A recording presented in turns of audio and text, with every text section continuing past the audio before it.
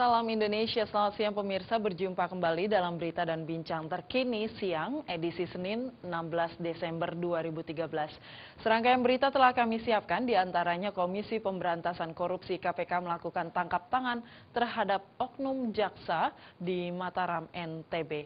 Saya Nur Tanti Purba, berikut berita selengkapnya.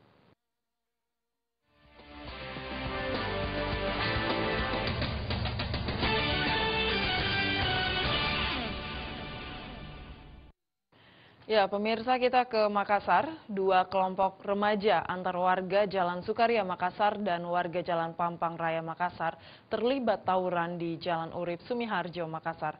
Dua kelompok remaja ini saling serang dengan menggunakan batu, anak panah serta busur. Akibat tawuran ini, banyak pengguna jalan yang memutar arah.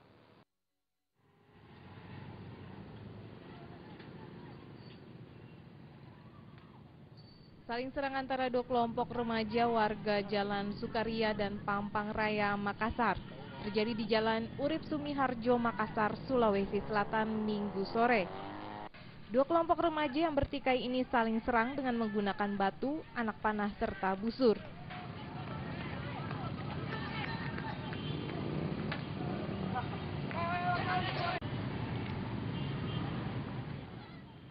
Dua kelompok remaja ini tetap saling serang meski kendaraan melintas.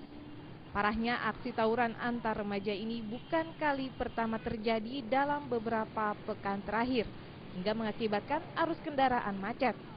Tawuran berlangsung cukup lama. Anehnya tak ada seorang aparat kepolisian yang terlihat membubarkan tawuran tersebut.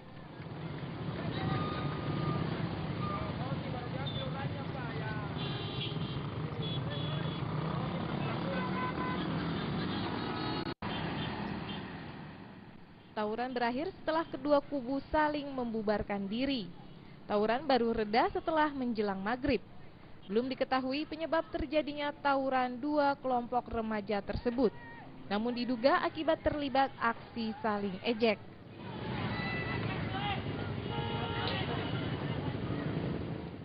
Dari Makassar, Sulawesi Selatan, Ilham Hussein melaporkan.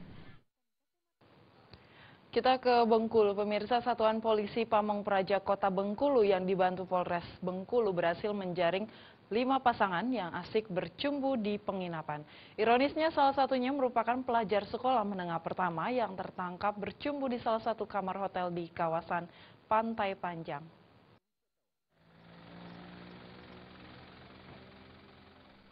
Razia yang dilakukan Satpol PP Kota Bengkulu ini dalam rangka memberikan rasa nyaman menyambut Natal dan Tahun Baru.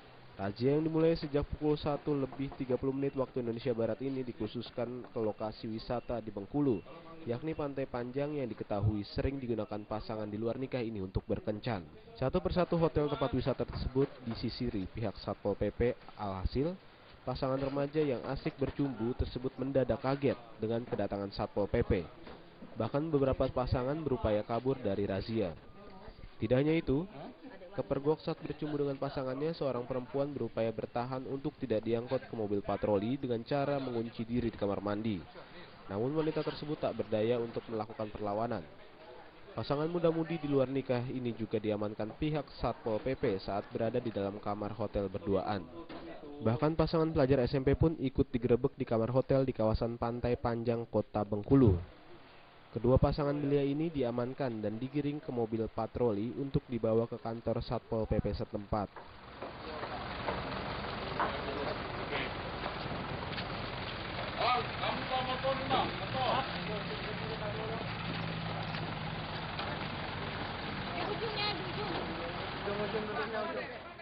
Mereka yang terjaring dalam razia ini langsung diangkut di boyong Satpol PP untuk didata dan diberikan sanksi Bahkan pasangan muda-mudi yang ditangkap di kamar hotel tersebut baru bisa dilepaskan Satpol PP setelah orang tuanya datang dan menjamin mereka. Dari Bengkulu, Tetra Surya melaporkan.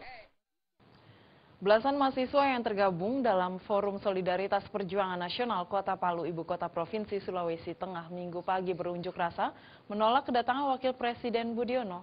Namun aksi tersebut berhasil dibubarkan paksa dan menggiring mahasiswa ke kampus Universitas Al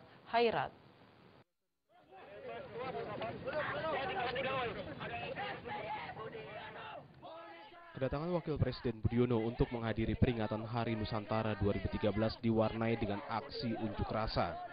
Belasan mahasiswa yang tergabung dalam Forum Solidaritas Perjuangan Nasional Kota Palu, Ibu Kota Provinsi Sulawesi Tengah minggu pagi berunjuk rasa menolak kedatangan Wapres. Polisi pun berusaha membuarkan aksi penolakan kunjungan Wakil Presiden Budiono pada kegiatan puncak peringatan Hari Nusantara 2013 yang dipusatkan di Kota Palu dan Kabupaten Donggala. Dalam orasinya, mahasiswa Universitas Al-Khairat ini menolak Budiono ke kota Palu karena terkait kasus Bank Senturi. Mahasiswa juga menilai pelaksanaan Hari Nusantara tidak berpihak kepada rakyat.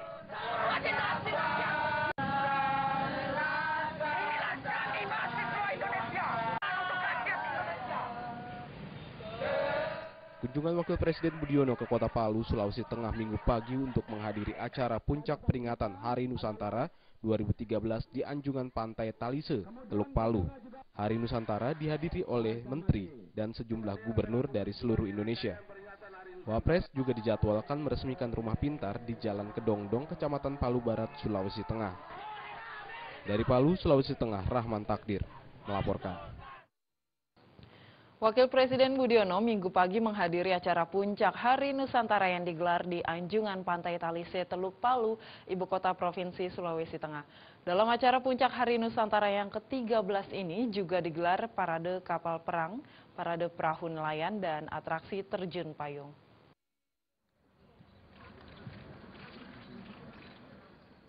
Ikut mendampingi Wakil Presiden sejumlah Menteri Kabinet Indonesia Bersatu Jilid 2 antara lain Menteri Pariwisata dan Ekonomi Kreatif Mari El Kapangistu, Menteri Kelautan dan Perikanan Syarif Cicip Sutarjo, Menteri Perhubungan EE Mangindaan dan Menristek Gusti Muhammad Hatta.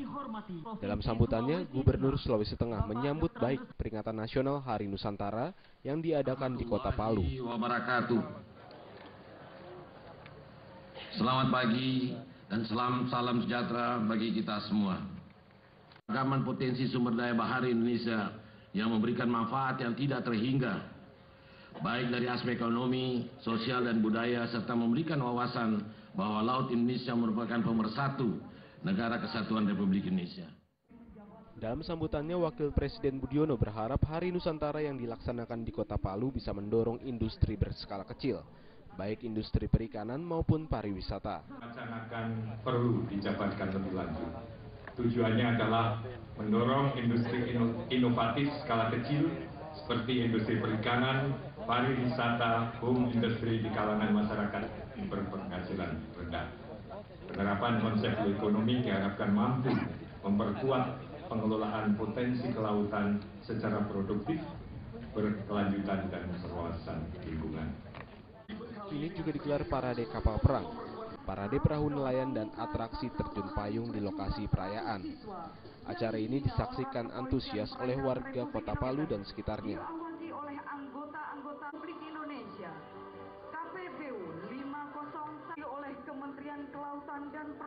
Dari Palu, Sulawesi Tengah, Rahman Takdir melaporkan.